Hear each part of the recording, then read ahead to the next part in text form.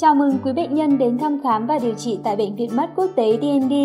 Cảm ơn quý bệnh nhân đã tin tưởng và sử dụng dịch vụ của chúng tôi.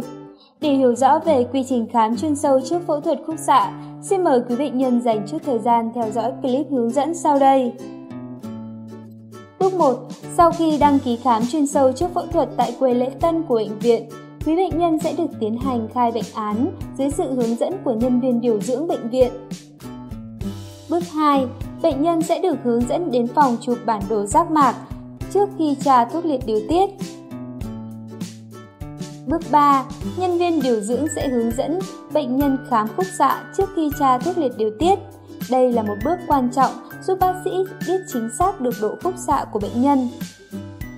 Bước 4. Quý bệnh nhân sẽ được hướng dẫn và tiến hành đo chiều dày giác mạc, đo nhãn áp, lấy máu xét nghiệm, sau đó, điều dưỡng sẽ hướng dẫn và tiến hành tra thuốc liệt điều tiết cho bệnh nhân.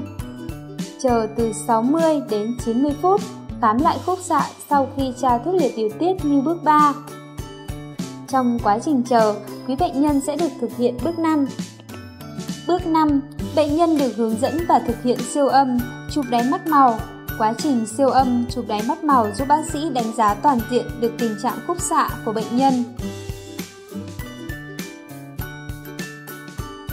Bước 6. Sau 60 đến 90 phút, thực hiện bước 6. Tiến hành chụp bản đồ giác mạc, khám khúc xạ sau khi tra thuốc liệt điều tiết. Bước 7. Bệnh nhân được bác sĩ chuyên khoa khám toàn diện và soi đáy mắt trên máy sinh hiển vi.